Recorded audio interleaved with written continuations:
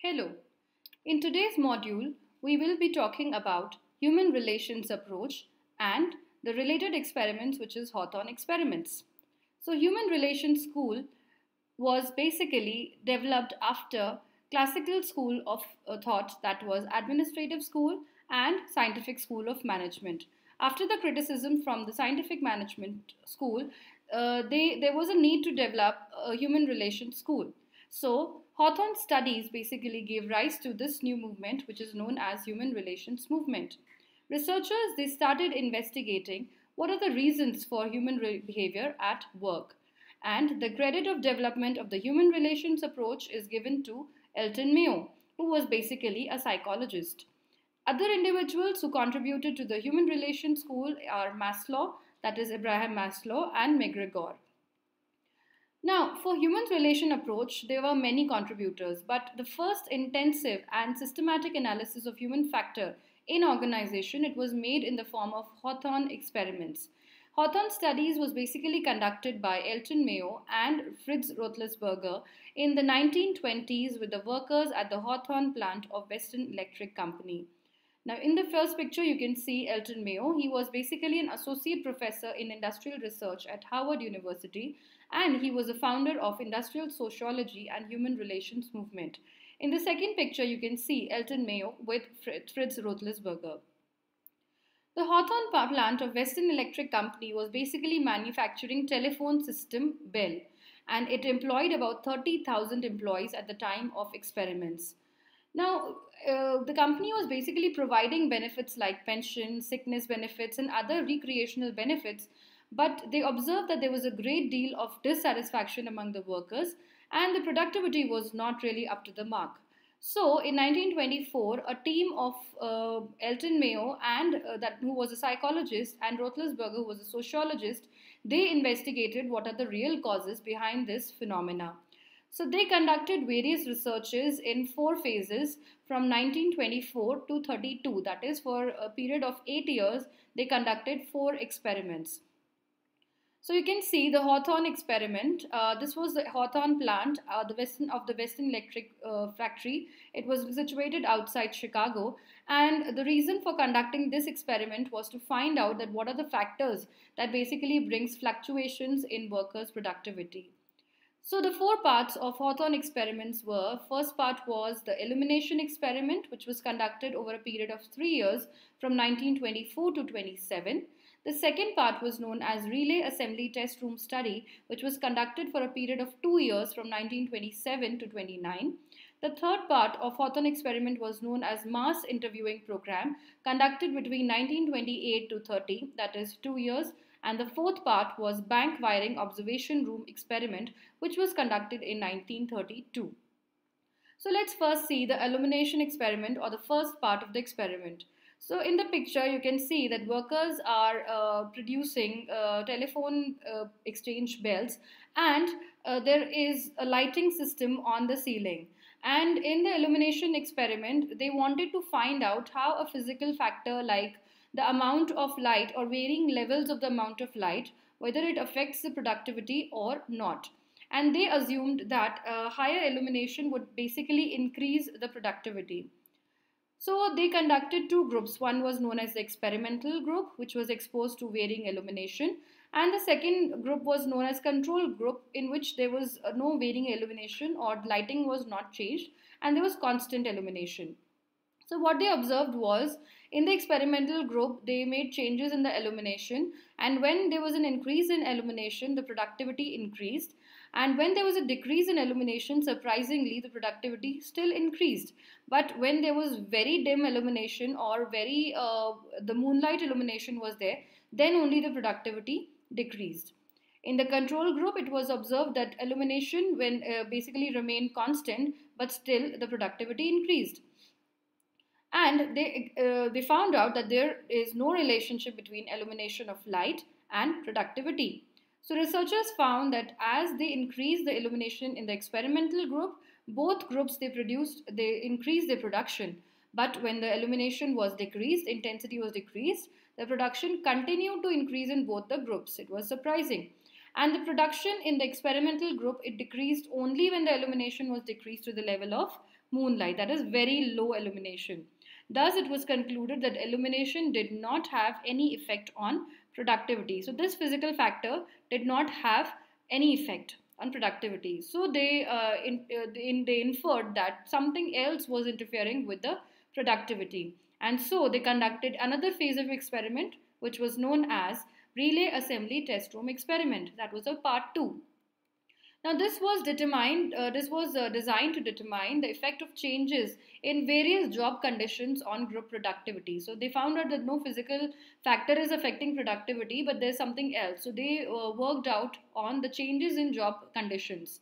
So what they did was they set up a relay assembly test room and it involved assembly of telephone relays and in which they had uh, a group of six women.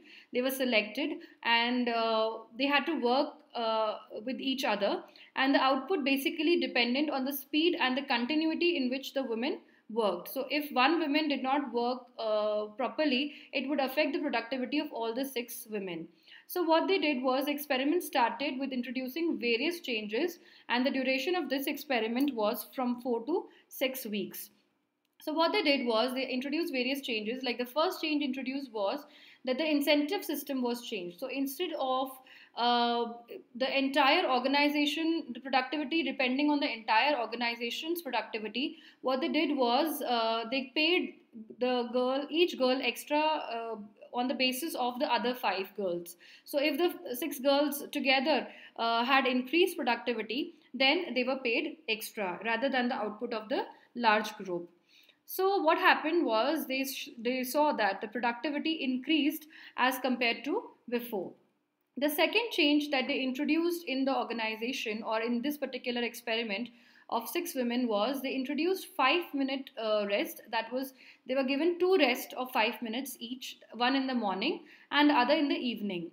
So what they did uh, what they noticed was uh, and later it was uh, this particular rest was increased to 10 minutes. So they were given 10 minutes rest uh, in the morning and in the evening.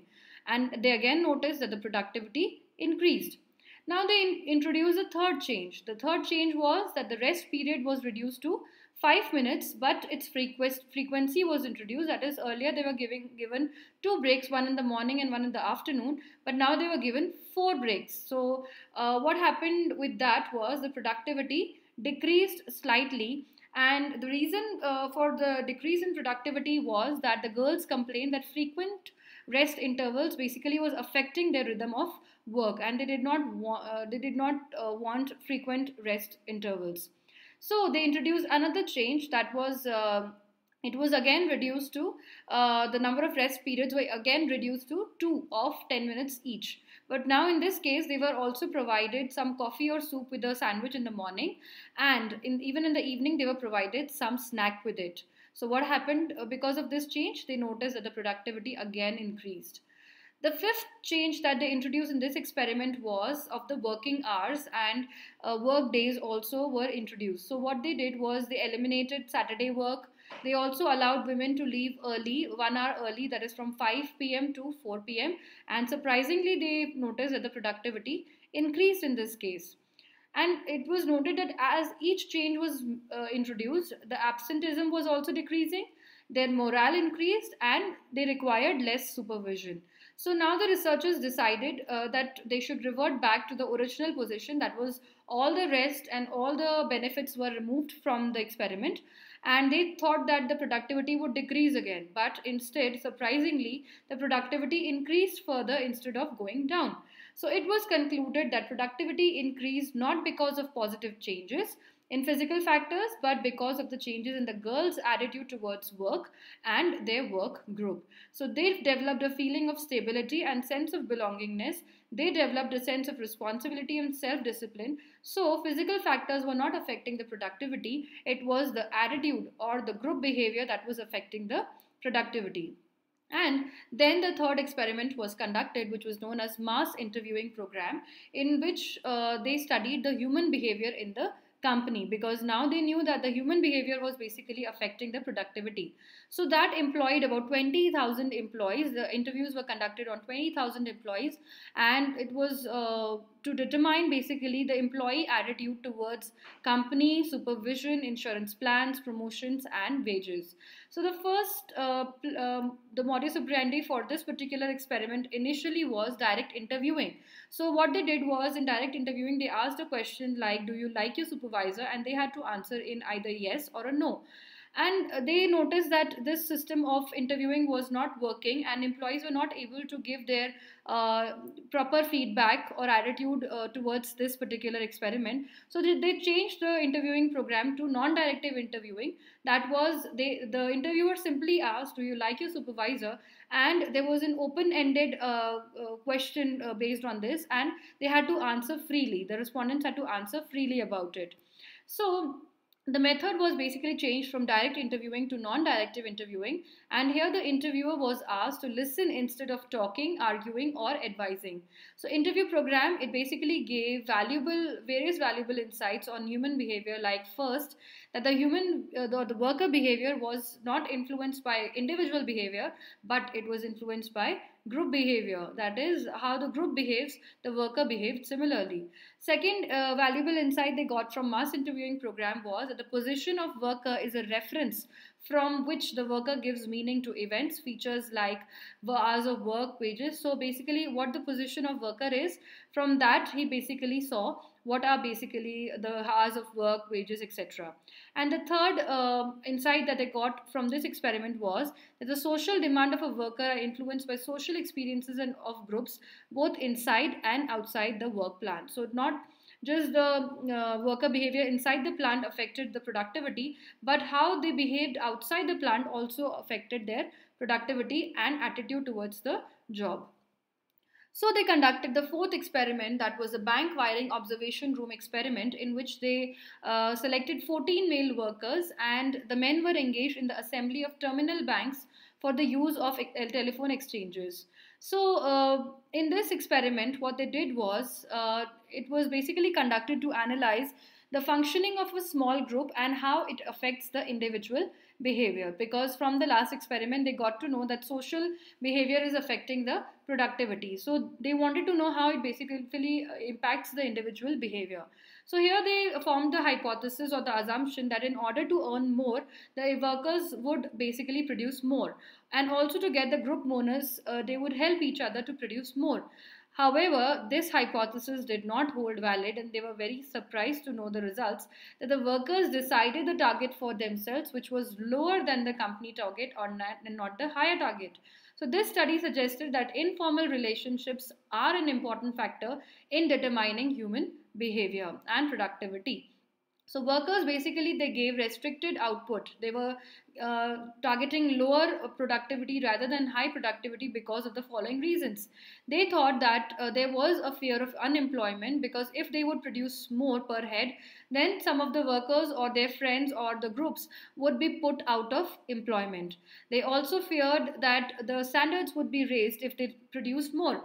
They thought that if they reached the standard set by the management, then management would again raise the standard, and that is why they gave restricted output.